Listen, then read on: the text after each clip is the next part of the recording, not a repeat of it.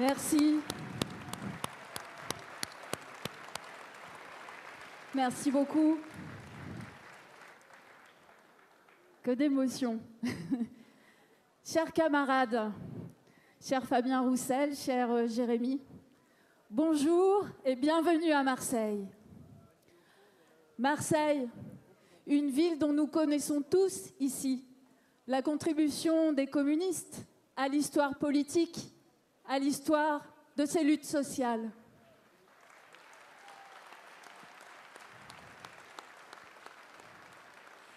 Mais l'histoire ne s'écrit pas seulement qu'au passé.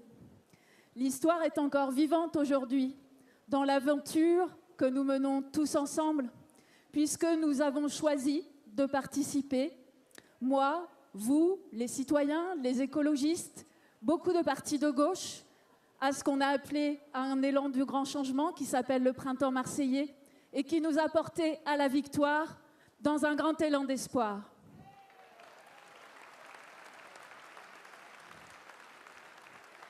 Aujourd'hui, nous nous retroussons les manches. Nous sommes au travail pour construire des écoles, des logements sociaux, pour une ville plus égalitaire, plus apaisée, plus accueillante, pour être fiers d'être Marseillaise et Marseillais.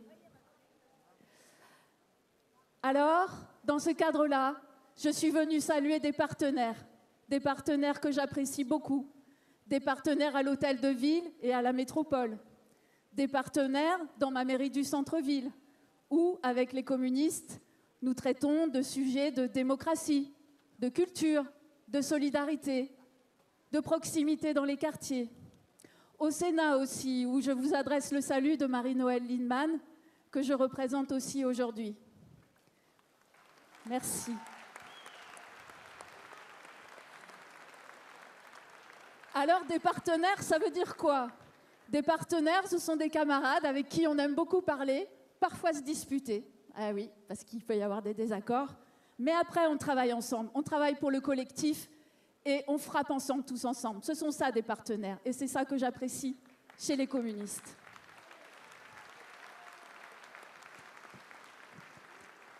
Alors, je ne suis pas venue parler de désaccords, je ne suis surtout pas venue donner des leçons. Simplement, je suis venue remercier Fabien Roussel pour sa manière simple et républicaine de parler des aspirations du monde du travail et des classes populaires.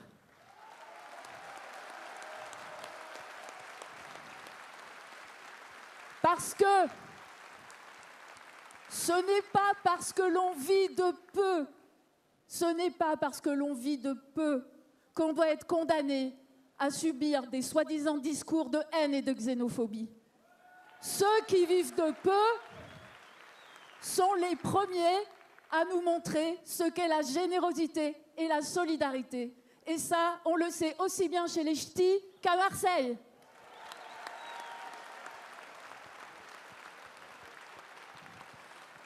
Alors, il va y avoir l'élection présidentielle. Et puis, il y aura ce que nous partageons déjà entre nous, entre nous tous, le sens de la fraternité et la dignité en politique. Merci à vous. Merci beaucoup.